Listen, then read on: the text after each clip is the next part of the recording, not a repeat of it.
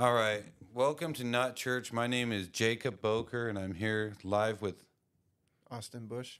Mr. Austin Bush. So, what we're going to be talking about today is why people do not go to church, which I think is a pretty big subject. I know there's church hurt. Yeah. What other reasons do you think there is?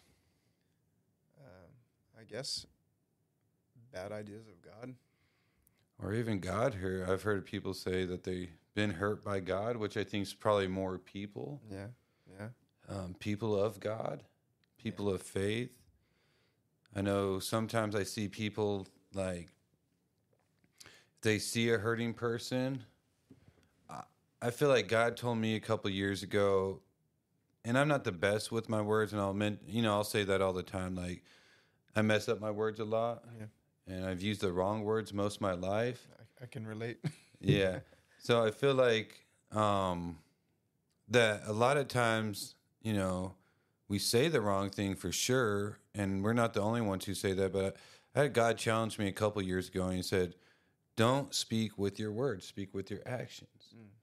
So that that really challenged me. Is like, don't speak with my words; speak with my actions. Let my actions speak louder than my words, which I think is a great thing because if we're letting our actions become our words, then we have to actually do what we're saying, right? We can't just say these things. And that's where my point is, is I think too often, especially as Christians, right?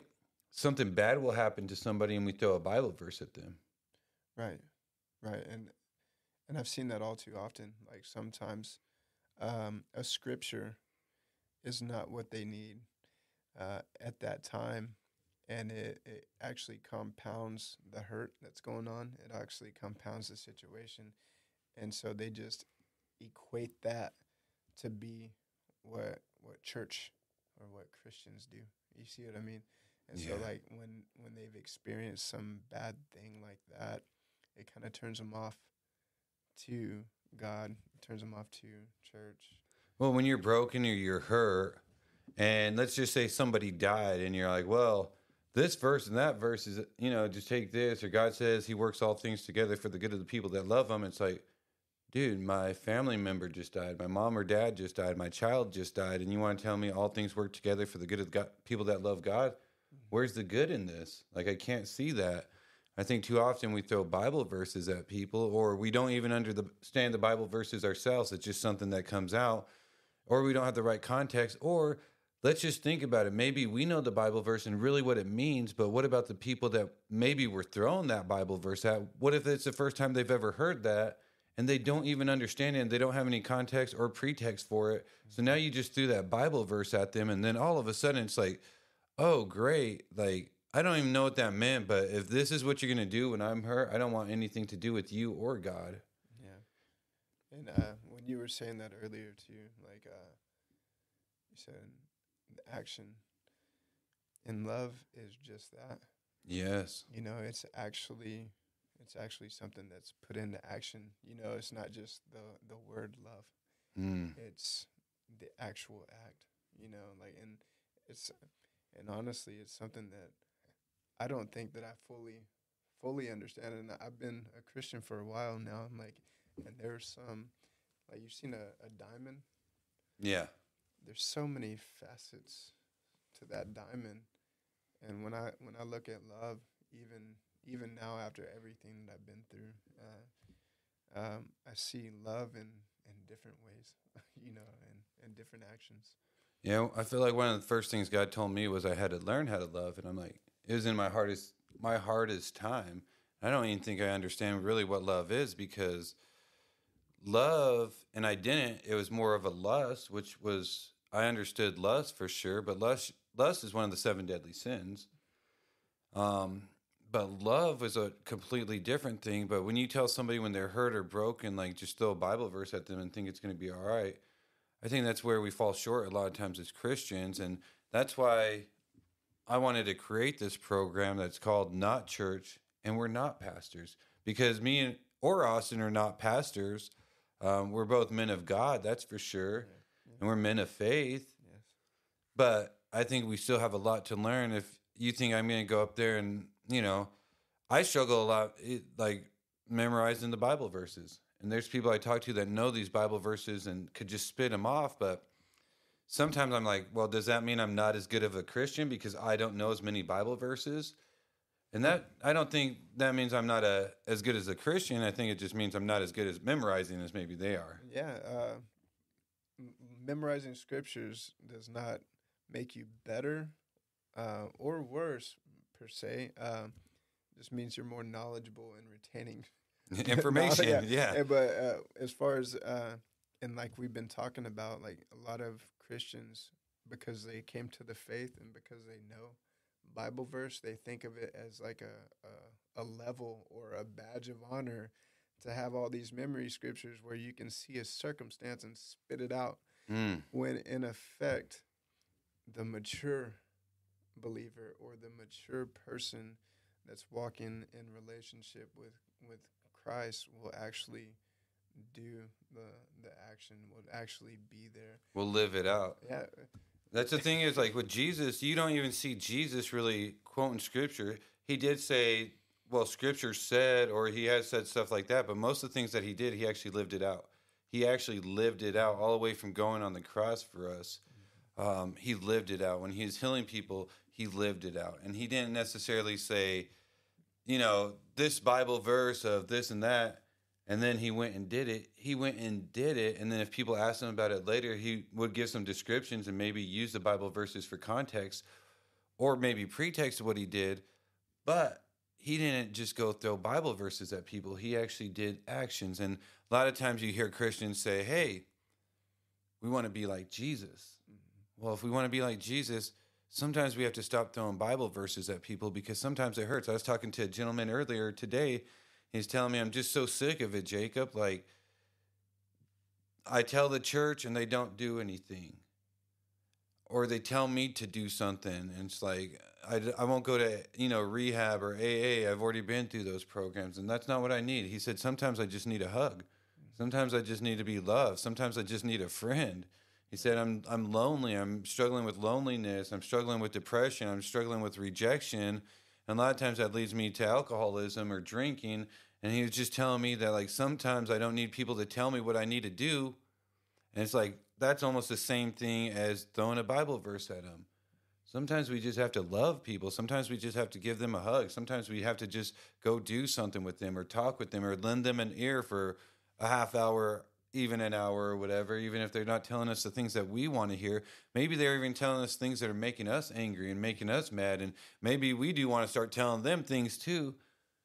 But is that really going to help us or help them heal? I think that's really what God's calling us to do. You said something earlier about, you know, you want to reach the people in the darkness and bring them to the light. yeah uh, yeah I was in in, in Acts uh, twenty sixth chapter um, uh, Paul uh, has an encounter with uh, Jesus after Jesus has already ascended, right? Yeah. So Jesus comes in light and knocks Paul off his horse, man, and and um, Paul, you know, he's he's like, "What is it, Lord?" You know, and and uh, Jesus says, "Get on your feet," and Mm. he says, he says, "I'm taking you, uh, and, and taking you apart from the Jews and the Gentiles, but you're gonna go to them and preach." Yeah. He said, he said, you're going to go to them and bring them from the darkness to the light. He said, from the power of Satan to the power of God, you know, Mm. and he gives them this, this mandate, man. And uh, when I read that, you know, I hit the floor and, um, and then I read the part get up. So I stood on my feet and I was like, I received this from you, Lord, you know, but that's the heart, you know, bringing people from where they're at. But he, he told them to go where they're at Yeah. he, he set them apart just specifically for that and and it's outside the four walls. It's, Mm. it's not uh, that stuff can happen in the four walls. Don't get me wrong like people can come into the church broken and receive healing and receive uh, revelation and receive those things and and minister you know minister to them. But the church was also called to do the same thing. Yeah. to go outside the four walls to meet people where they're at I think a good example would be almost, you know, as far as Christians hurting other people. And that's a lot of what we will talk about during these series, just because uh, the people that we're trying to reach aren't the people necessarily going to church, or the ones that are maybe hurt by the church, or maybe not going to church and thinking about it. But there's this, this, I guess, reputation almost for Christians of just almost saying the Bible verses or saying the wrong things, like I've said my whole life and they think that we're representative of God, which we are in a sense if we're going to church and we're being Christians and we're trying to tell people about Him. But then you tell me that somebody just died, or you're struggling with loneliness, or you're struggling with these other things, and we're just like, boom, here's a Bible verse for it. It's like reminds me of the Good Samaritan, right? Mm-hmm. So there's a priest that walked by, and then the Levite, which were priests too, right? So there's two of them, which they probably prayed for him or something, right? Like, oh, walk by and it's like, Lord, please help him. And some some of those guys wouldn't even talk to him because they didn't want to be considered unclean. yeah, exactly. Yeah. Which is more important. Like, I don't want to be unclean, so I'm not going to talk to them. Mm-hmm. This person's homeless, or this person's a druggie, or this person's an alcoholic. So you know what? I'm not going to talk to them. This person just got a divorce, so I don't want to talk to them. But then there's the good Samaritan who not only picked him up and helped him and cleaned up his you know wounds and all that, but took him to an inn and said, "Here's some money, but if I owe you more by the time I come back, just take care of him and I'll take care of it and I'll take care of you." And it's like I feel like that's what we need to do more as Christians is meet people where they're at, mm-hmm. not where we want them to be, not where we expect them to be, not where we're at, right? Yes. But where they're at, where they're at, because eventually, if we can meet them where they're at, we could get them to where God wants them to be. Not where I want them to be, but where God wants them to be. And that's the most important thing is where God wants you to be. And I know for some of you guys listening right now, maybe you're struggling even believing in God. Like, is God even real? If God was real, why would he allow this? If God was real, why would he allow that? Why would he allow a child to be abused? If he was real, why would he allow your child to die of cancer, right? Or your mom or dad to die when you prayed and you prayed hard, right? And I've been a Christian and a believer and I prayed for stuff and it didn't work out to my expectation. And I've had people tell me those verses, hey, you know, God works all things together for the good of the people that love him and all this. And you're like, dude, but I'm hurt. I'm broken. The church just hurt me. I'm broken. And it's like, those are all good, but how are we supposed to help people heal? How are we supposed to really show people who Jesus is? I think, uh, and this is like this is me personally, like um, spending time with God, mm. uh, hanging out with God. Um, you know, like being with Him, you want to be more like Him. You you want to you want to carry that, and um, it's like that character, And like we we say, like in the name of Jesus, right? Yeah. Uh, really it's in the character. Mm. And you can only have his character if you hang out with him. That's good. Not somebody who claims to be like him, not somebody who knows the statistics of him, yeah. but really spending time with him and, and seeking him. And, and I, I say that uh, because a lot of people have been hurt by people that claim to be Christians, claim to be men of God, claim to, to uh, even some churches, you know, uh, and uh, some churches, they have a, a good idea, you know, but they're, they're just not doing the right thing, you know, and, and um, there's a lot of ministers out there that are, are not doing the right thing that, and, and I'm not I'm not bashing anybody right here, but I'm saying that it's hurt a lot of people out there. Well, I feel like a lot of the church nowadays is, and I'm once again disclaimer, we're not talking bad no. about any church or any Christian, and we're all trying our best. So we're not sitting here on our high horse saying, "Well, we have figured it out, so now we're going to do a podcast about it." By no means, but what we are saying is, can we do better? Because I feel like mm-hmm. I've gone to some of these other churches, not the current church I'm at now. Mm-hmm. I've gone to some of these other churches and I felt like it was a concert. I, I'm a, I'm a big entertainment guy. We're doing podcasts right now. I've been doing media my whole life. I love entertainment. I love entertainment. I've gone to concerts, I've gone to mm-hmm. shows, I've gone to stuff. Yeah. But the production, the people that they take pictures of, the people that they show, the people that are on stage, the songs that come in, the whole like production aspect, almost feels more like of a show. And it's like, well, are we leaving room for God to come in? Mm-hmm. And one thing I want to challenge you guys with if you are struggling with God and you are saying, well, is God real? If he is real, why would this happen? Or why would he allow that? Or why would I be struggling with the things I'm struggling with? Or why every time I go to church I feel like this? And you you have the right to feel however you feel. That's the way you feel. There's nothing wrong with that at all. And we want to just say that's okay. I can share this from my personal experience though. For years and years I didn't read the Bible. Let's just put it this way, it took me 40 years to read the Bible. So 40 years to read the Bible. But I used to think the Bible was a like a dictionary for Christians. Like we carry it around and we're going to thump you with it and we know this word and you don't know it and I thought it was just filled with all these Sunday suit people and these, you know, these quotes that they use, which it is. But then I started to realize the people, once I started to read it, like the people that were in the Bible, let's start with Adam and Eve, right? God told them don't eat from the tree of knowledge of good and evil, right? First thing, well, not the first thing, but one of the things they did do was eat from it. Then God came, and what did they do? Did they go and say, "Hey, God, like we ate from it, we're sorry, like we repent, our bad"? No, the first thing they did was hide, Yeah. and they hid from God. And then you have Cain and Abel. Yeah, that's that's so. Uh, yeah. Go for it. No. Um. Jump in. So, like they used to have fellowship. They used to hang Walk out with God. God. Yes. God would come at a certain time every day, and um, and he would meet with them. It was like clockwork. Like they knew, Yeah. and so th- they didn't have to do anything. They didn't have to build any altar. They didn't have to do a certain thing for him to come. They they just they just had that relationship without any strings attached. Just Yes. full communion in the garden, and and he would come in the cool of the night and the cool and the breeze and stuff. And I saw that, but when they did eat, They hid. they hid. First thing they did They was hide. hid. They hid. They ran from him.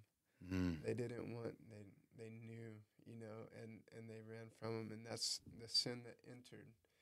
And I, I was saying that because a lot of people struggle. Is God good? Yeah. God didn't. God wants full communion. God wants, wants that relationship. relationship, and and uh, because that sin entered the world and and we're born like um, it's it's an actual thing that was passed on from that moment on. Like when they recreated and like procreated, we carry that that same sin nature Yes. and and it's it's natural and we have that that that in us you know but it's so, it's so easy to lose the sight of of the good God that made us you know and they say is God good well if he's good then this and this and that right Yeah. uh if God was not good he wouldn't have sent his son so that we could have the same relationship that Adam had before sin Mm. came in That's good. you know so um, i want to i want to challenge people uh, to get outside of the way that they they thought about if you think that god is not good uh, he didn't want us to have this in nature he didn't want us to to to do that and we live in a fallen world So this is one Yeah. thing I want to do real quick. I've done it somewhat before, but during the middle of the series right now, I want to challenge you guys because Austin challenged you guys. So now I'm going to throw out a challenge too. So it's called, um, you know, a lot of times I feel like as Christians, we don't think that we're, we think that we're unworthy, right? Mhm. Or we try to hide or we try to run. And this section is going to be called Maybe You Are Qualified. Maybe you're qualified for God to use you. Maybe you are the perfect person that God is using you. So, what we're going to do is I'm going to share a couple stories, and Austin's going to share a couple stories of people in the Bible that God has used. And we're going to try to go in some type of order, but we may just skip around a little bit. So, let's just talk about Cain and Abel. In the very beginning, that was actually the first murder recorded after eating of the tree. That was the first murder recorded. It wasn't just a conflict between brothers and one killed another one. That was the first murder actually recorded. yeah And then, so let's go on. All right. So we have, let's say, I'm going to start with Noah. So you may be qualified or get, God may want the relationship with you, even if you spend hundreds of years building a boat, to survive a flood, to go get drunk right afterwards. So if anybody here has been drunk or is drinking currently, or you're listening to this drinking or you're drunk, I challenge you. Maybe God wants to use you because the first thing Noah did was get drunk, then de- get defiled by his son. So maybe if you've been drunk or been defiled by your son, maybe you are qualified for God to use you. Because that's the thing, a lot of times we think is that we're unqualified, we're unworthy, right? We're not good enough. But maybe you are qualified enough. So, which one that you could think of that maybe people think, uh, you know, what some somebody that God has used or a thing that they've done that may help somebody listening realize, hmm, maybe the Bible's a little bit different than I thought. But then not only that, maybe I'm more qualified than I actually thought I was. Hmm. So what's something that comes to mind? Let's just talk about leaving your phone on when you're doing a podcast. that would be me. God can still use. God can still use me. Um, wow, that's um, Rahab. Ooh. Um, all right. You, you know, and and for so many reasons, like uh, she she was a prostitute. But who is related to Rahab that we may know of or that maybe we've heard of before? Jesus Christ. Woo! So She- Jesus' bloodline It comes from the lineage of a of prostitute. a prostitute, and and I I, I mean, it, it's so like to see the unclean thing that was going on, and God's mind, and God's plan. Still loved her. I mean, she, he still loved her. You know, like and there's Still a had a lot of purpose for her. and and I shared a little bit of my testimony with you, you know, but I, w- I was out on the streets, man, and and you deal with that that world, you're gonna run into prostitution. You're gonna run into prostitutes, um, especially with drugs and all that stuff, and and a lot of them, I'm telling you, they deal with a lot of issues, a lot of Mm. brokenness, and uh, a desperation to to try to make a living. you know? Yeah. and so like they go to the extremes, even when it battles their morality, they go to the extremes to to make ends meet. And I was thinking about like Rahab, like that that place and the, the city that she was in. Mm. You know that the walls of the city and the, the where the inn that she was at. Yeah. That's the only inn where the the building is still there was still one one brick left. Everything else when it when the walls came falling down, that, that particular part of the the wall was still left in, intact. And I, I was thinking about all this stuff, man. I was like, not only that kind of stuff, God had a special place in His heart for her Mm. for that seed to come all the way through. I was just like, man. Wow. So moving on. So if you're a prostitute, God still loves you and still has a plan and a purpose for you. Wow. So you may be qualified.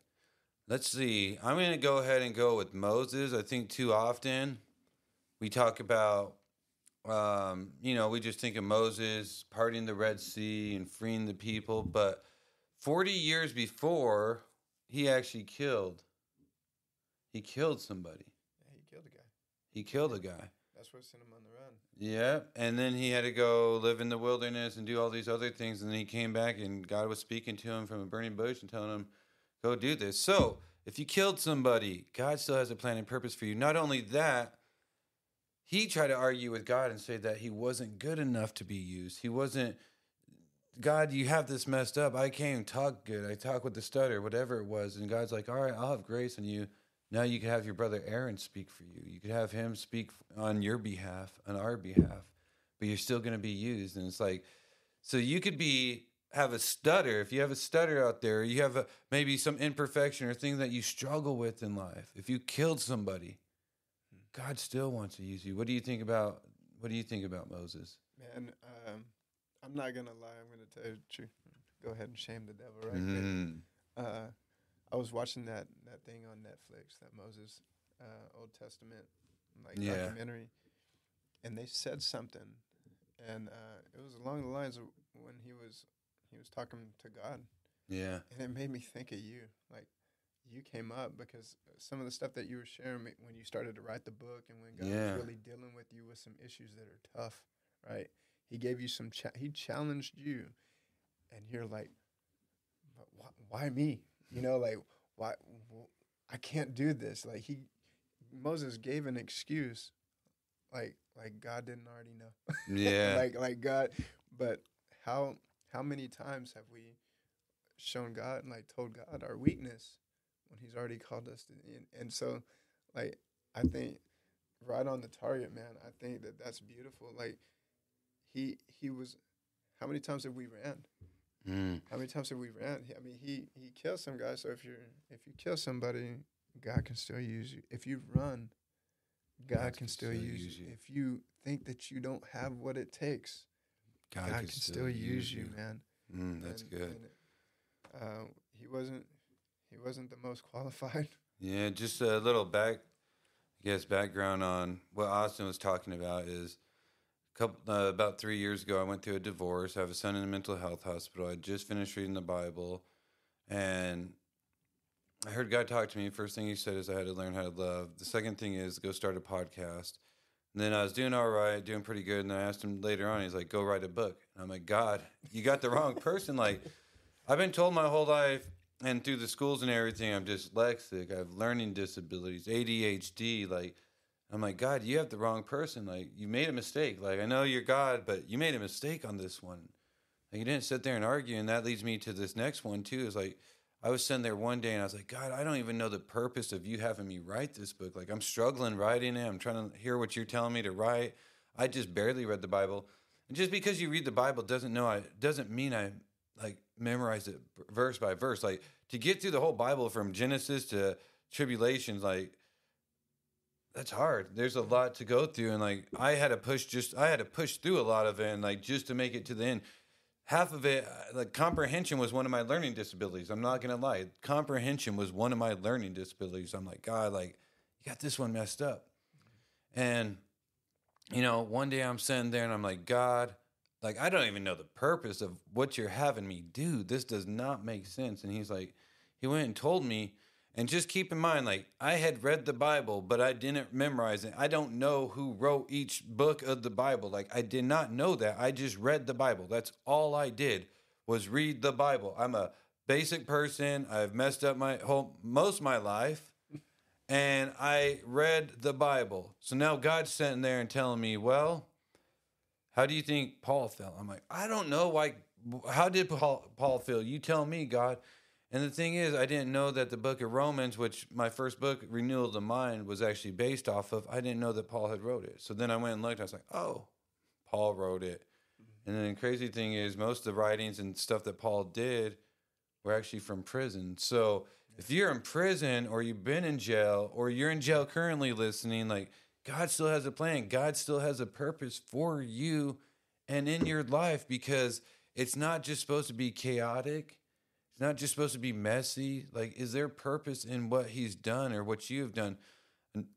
Another one I think of, and I'll let you talk on this a little bit, but let's talk about Abraham. Yeah, man.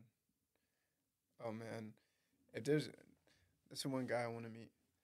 Like, Yeah. uh, like he's he's like one of the one of the top ones in the Bible. I want to I want to see like even, uh, but uh, So Abraham, Abraham, God said, "I'm going to make you the father of many nations at 80 years old." So if you're old, if you're 80 plus years old, God still has a purpose for you. But God says, "I want you to be the father of many nations," and then his wife Sarah laughs at him, right? hmm yeah.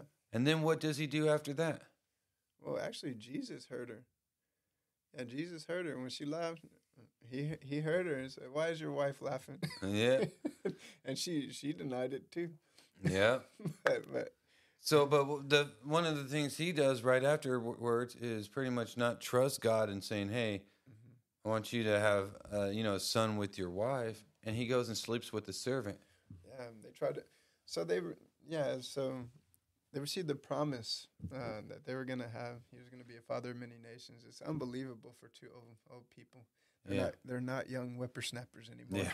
You know, they- Whippersnappers. so so uh, well, it wasn't happening. You know, the first time they- they got the they got the promise, and it wasn't happening the way Sarah wanted it to, or as fast as it, she thought it was gonna happen, hmm and um, so she she told him to go sleep with the the maidservant.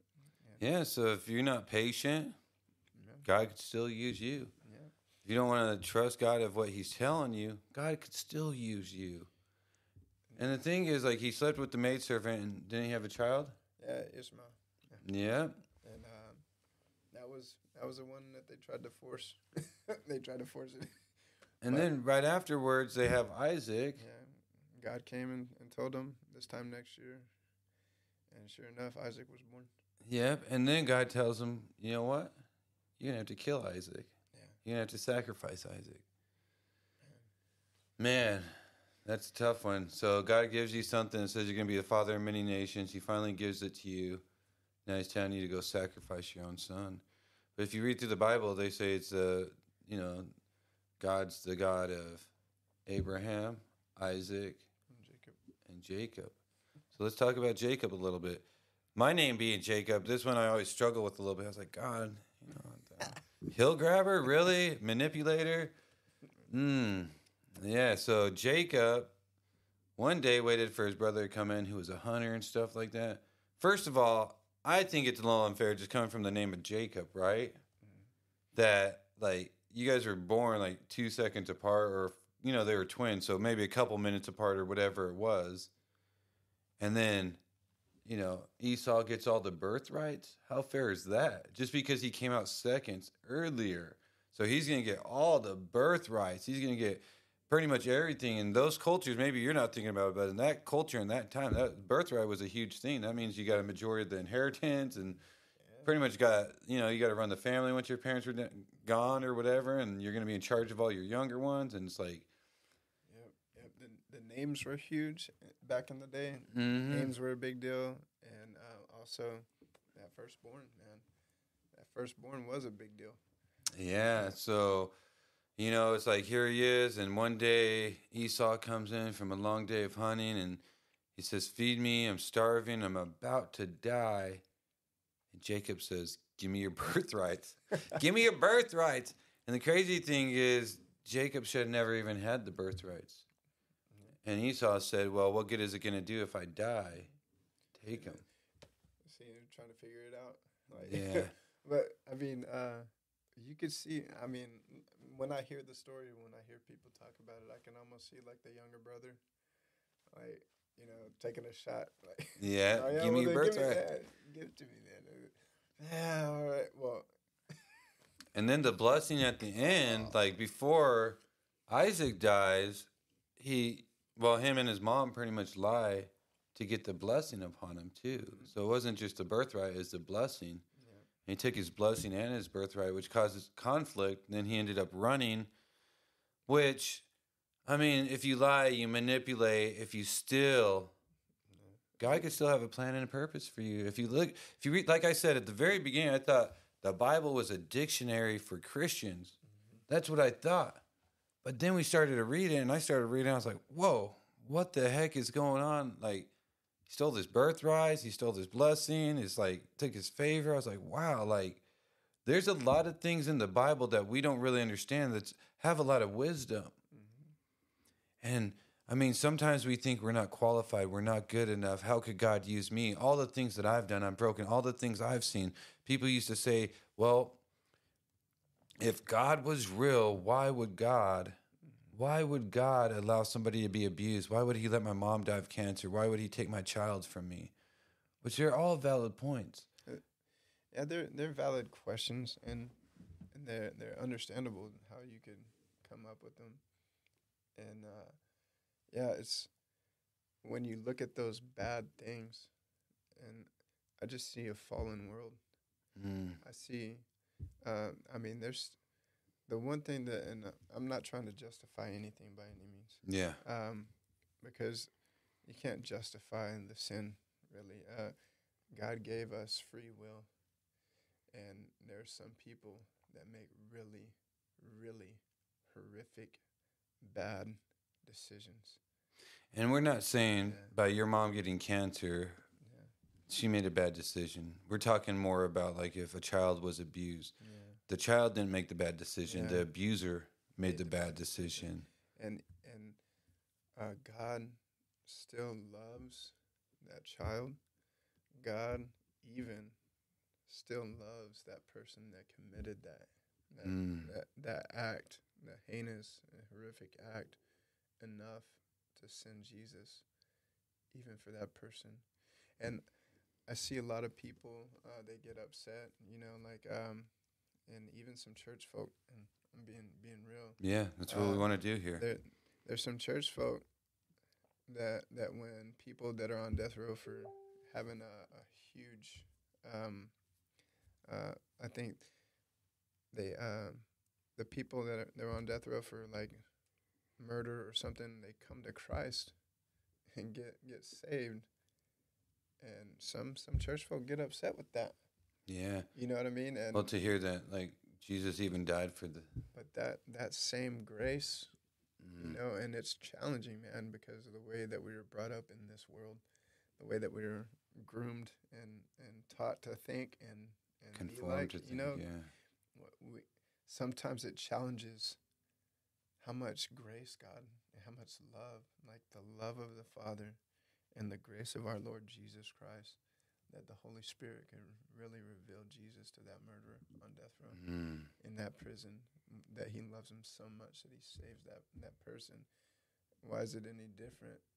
And and um, i heard some rap songs you know and you know uh, i known some christian rappers that that their brother got murdered. Mm, and it was one of their challenges to to pray that they receive to pray that the the, the people that murdered his brother receive christ wow. and I was just like, and that that stretches you, your way of thinking, your heart. You know, you're just like, uh, but I want, uh, you know, but the the the the heinous act, the the whole fallen world thing, the the disease, the sickness, these things are very real. COVID, uh, cancer, these things are Mm, very real, but not one of those can stop somebody from receiving Christ yeah. you know if, if and that's why we we've been talking about this it's so important uh, that we because even the topic that we're talking about at the moment we don't feel like we're qualified Yeah. to go share our faith to go share because this, the work that jesus did when we believe that same work that's inside of us we can share our faith and, and, and our belief in, in christ and, and his finished work of the cross was to save us Yes. to reach so many people in these conditions that have these questions and and for them to get saved and the holy spirit move and work on their life to where like their mind gets and their heart gets Mm. changed and all that stuff you don't have to be you don't have to be qualified. Yeah. you just you just got to receive that that call and and go. You know like it's so you, these folks like uh we're talking about jacob. Mm, he went on the run and the god of abraham isaac and jacob right? He met god. He wrestled. Yeah. he wrestled. He, he said I, and and that's one of the things he got his name changed by god you see what i'm talking about he had that encounter with god and god changed his name and made him Yeah, that's a crazy thing because Jacob stole the birthrights. Jacob stole the blessing, and it should have actually been the God of Abraham, Isaac, and Esau. It should have never been Jacob. So right there, it just shows you, you know, even when you're doing the worst of your things, God could still use you in the middle of it. Um, that's the beautiful thing about it. And, you know, we do ask the question of why would God allow this? But why would God allow his only son to die? Why would God send down Jesus to die for the abuser, die for the hurt? I understand coming down and dying for the innocent, right? But he came down to die and he sent his only son to die. And that's the thing that I don't understand a lot of time. And that's the thing that just really gets me is like, there is this hurt, there is this pain, there is this sin, but there's also God who sent his only son, which that kind of counters everything that you may think in, in a sense you know it's like why would god allow this? But why would god allow his only son to only come down to die in the most gruesome way too? Like we were talking about it earlier like you see a picture of jesus on the cross and his private areas are covered and he's wearing like a little like you know shorts or uh, like a little covering or whatever right a cover over his stuff but in real life it wasn't like Uh, that uh, not even, not even, and even get. I mean, he got beat. He got beat. tortured he had to carry his Um, own cross Unre- It's like he got beat to where nobody could recognize him. Like marred beyond any other other prophet. You know, like I'm talking about, like the whooping that he took couldn't compare to anybody. Mm. You know, and he still. the mocking oh man, the everything that went with it man, I, and I still. It, it challenges me in this area uh, of offense. Mm. Like I get offended sometimes. yeah, go figure. Yeah, I get offended, and then I look at what Jesus went through, and, and I was like, man, what I'm what I'm being offended by is nothing compared to what he went through. You know what I'm talking about? Like I'm just like I can't even imagine, and and you being a father Mm.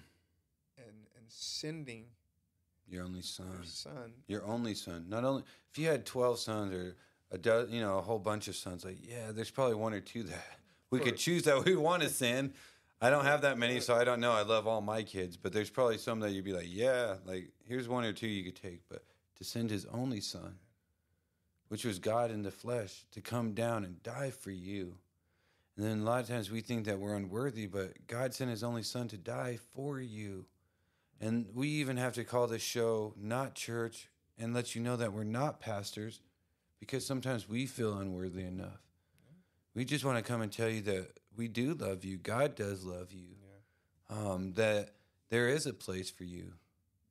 And we are sorry if something bad did happen to you by a Christian or if something just hap- bad happened to you, period. If you have a, if you're angry at God, that's all right. He's a big God. Yeah, he's a he's a big guy.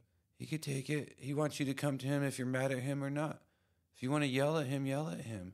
If you want to scream at him, scream at him. But the most important thing is just be in a relationship with him. Start testing who God is in in the waters waters of your hurt, of where you're at, where you don't expect you to have to like somebody told me one time, like, you know, like um once you get better, you could do better. I'm like, what? once I get better, I could do better. Like I could start serving and I could start doing this and that in a church. I'm like, so you want me to do better to get better? It's like, why don't I, you know, why not to, or whatever. I, I don't know exact way that they said it. Something in those terms of like, they wanted me to be better before I could get better. That's what it was. I had to be better to get better. And I'm like, what? Don't I have to do better to start getting better? Because really, at the end of the day, that's what it takes is me to start doing better stuff in my life. Stuff that God's calling me to do. Write a book when I think, why would God ask me to write a book? Because you know what? At the end of the day, if that that book is going to mean more to people because I am dyslexic. I have learning disabilities. I have this. I shouldn't have been the one. But you know what? I'm the one who did it.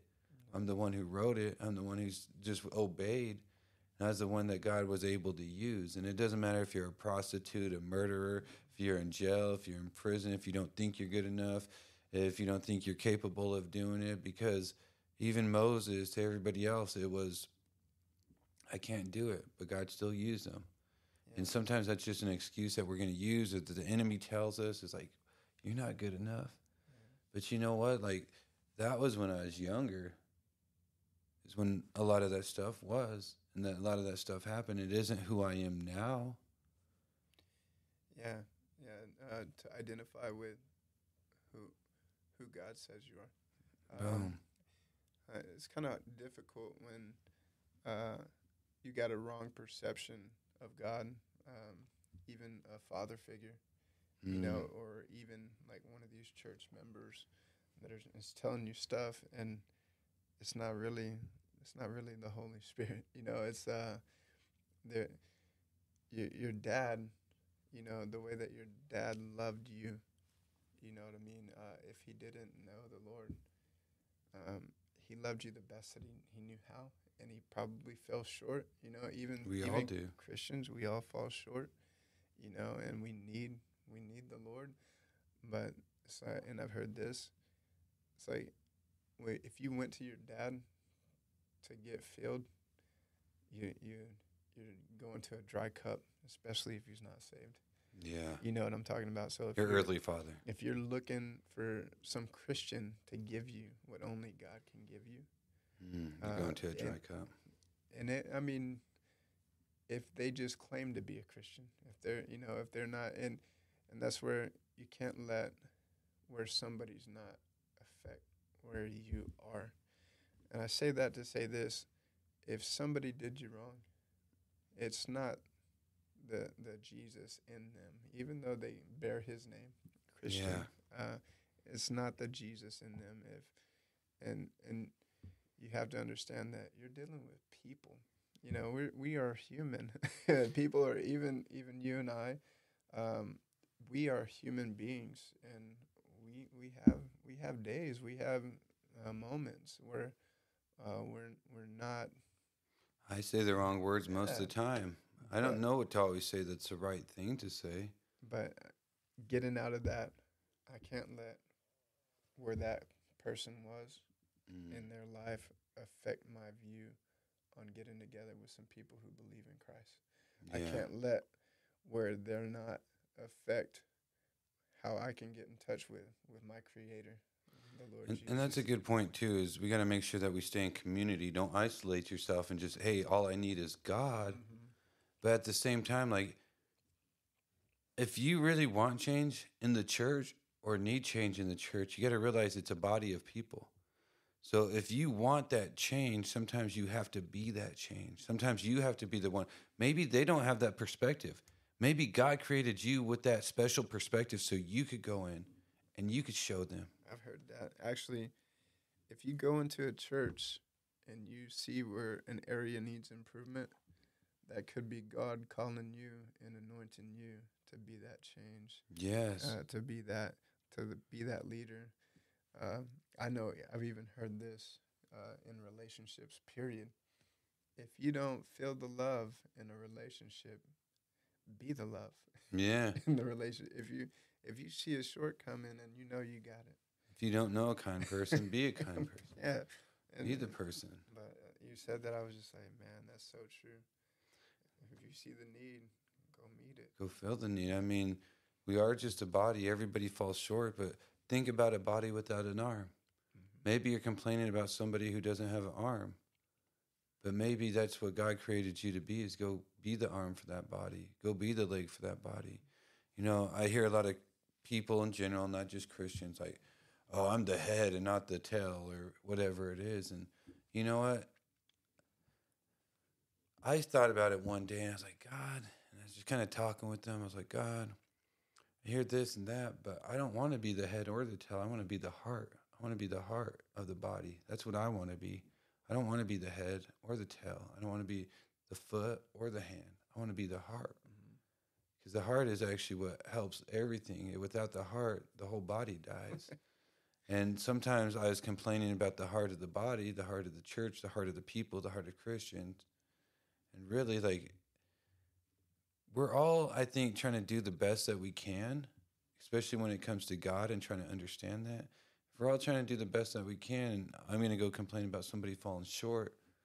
What if I could go change that and show them and help them and give them a hand? And that's why today we're talking about not the church and we're not pastors, we're just people.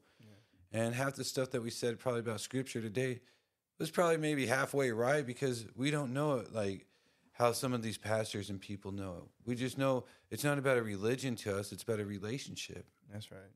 And yes, we do get in the word and we do try to be good Christians, but do we fall short? Absolutely. Every day, uh, in one way or another, we're not perfect. And if if we were perfect, then there would be no need for Jesus. But uh, we're still breathing. We're still here on this world. I'm telling you, every single one of us needs the Lord Jesus. And according to the Bible, there was only one perfect person. And it wasn't Abraham, Moses, Isaac, Joseph, or any of these people. Like, it was Jesus. Yeah. It was Jesus. And that was the only perfect person. So if you have imperfections, you're still good enough. It doesn't matter like who you are or where you are, if you're a drug dealer, if you're a crackhead, if you're struggling with drugs, if you're struggling with your mental health. The thing we want to come here today is just to let you know that God loves you, who you are, and where you're at. You know, one thing that I noticed too, um, and this is from reading the Word. Uh, you get into Hebrews, uh, chapter eleven. It talks about the faith. And Yeah. it's pretty much like the Hall of Faith. Yeah. You know, like if you if you've been in church for a little bit, uh, you kind of relate the Hall of Fame and then the Hall of Faith, right? Yeah.